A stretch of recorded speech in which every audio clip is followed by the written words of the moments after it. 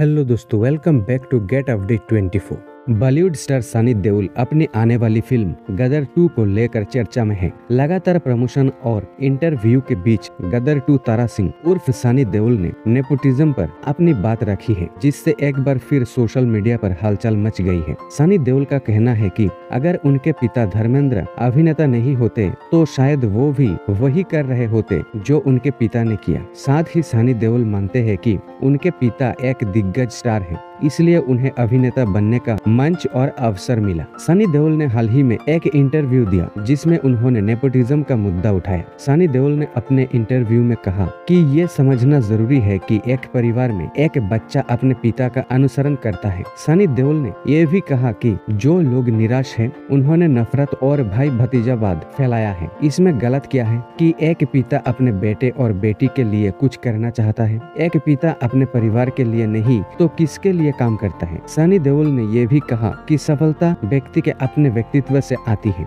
मेरे पिता एक बड़े स्टार हैं, लेकिन मैंने इंडस्ट्री में अपनी पहचान खुद बनाई है। हालाँकि मैं अपने पिता की तरह नहीं हूँ लेकिन हाँ हम लगभग एक जैसे हैं। मेरे पिता मेरे अंदर घुसकर मुझे एक्टर नहीं बना सकते। मैं अपने बेटों को अभिनेता बनाने के लिए प्रवेश नहीं कर सकता। हाँ कठिनाइया है, लेकिन मैंने कठिनाइयों के बारे में कभी नहीं सोचा। सनी देओल की ये बात कैसी लगी? कमेंट बॉक्स में ज़रूर लिखना। और अगर सनी देओल को पसंद करते हैं तो एक लाइक ज़रूर करना। और चैनल में नए हैं तो सब्सक्राइब करके हमारे साथ जुड़े रहना। धन्यवाद।